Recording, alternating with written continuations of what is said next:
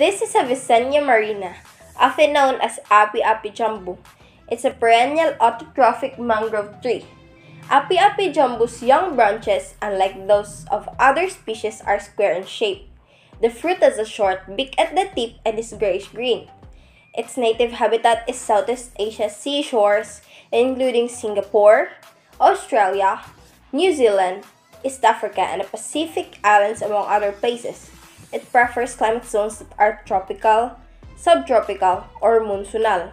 It belongs to the kingdom Plantae, subkingdom Viridiplantae, infrakingdom Streptophyta, superdivision Embryophyta, division Tracheophyta, subdivision Spermatophytina, class Magnoliopsida, superorder Asteranae, order Lamiales, family Acanthaceae, and genus Avicennia.